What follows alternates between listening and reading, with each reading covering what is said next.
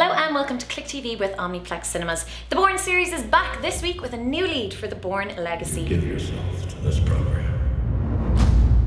Yes, sir. There is nothing that you wouldn't do for this country. You have the strength to do what's necessary. How is he? He's prepped. Oh, that has healed well. What do you think that we do out there, Doc? Star Matt Damon and director Paul Greengrass chose not to return for a third sequel in the Bourne franchise, leaving the way open for a new super spy in the form of Jeremy Renner's Aaron Cross. He's been making quite a name for himself since first gaining attention in 2009's The Hurt Locker, notching up impressive roles in The Town and Ghost Protocol. Legacy marks Renner's first big time lead role, and he'll have all eyes on him as he prepares to present a worthy alternative to Matt Damon. That's all I have. Gotta go. People, listen up. This is a national security emergency.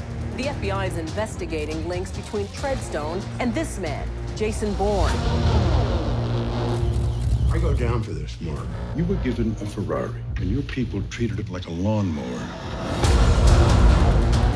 You're asking me to wipe the most valuable assets we've ever put in the field. You would start to consider the magnitude of what we're facing if this moves sideways on us. You need what? His character is forced to go on the run in Legacy when his Secret Service handlers decide to erase their latest asset. Hooking up with a scientist played by Rachel Weisz, he takes the fight to his creators. Bourne Legacy has some serious shoes to fill with 2007's Ultimatum, easily one of the best action movies in recent years. Renner has charisma to spare and seems to be able to handle the high octane stuff, but director Tony Gilroy only has Michael Clayton and the disappointing duplicity. Well, I'm not just a science project, Doc.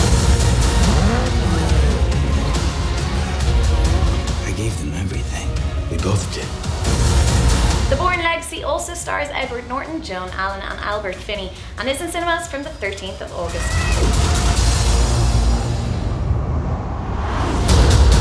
We hope you enjoyed this episode. Be sure to check out omniplex.ie for all the latest Click TV episodes and book your cinema tickets online. Enjoy the movie.